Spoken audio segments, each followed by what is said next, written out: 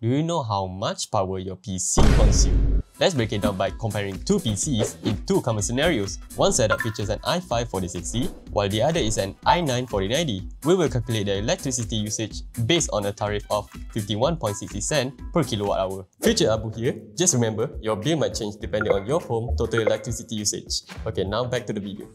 The first scenario is for someone who keeps their PC running at 24-7 without turning it off. The 4060 setup will cost you 14 ringgit and 86 cents while the 4090 setup will cost you 29 ringgit and 72 cents for the same period. That's just leaving your PC on all day, every day.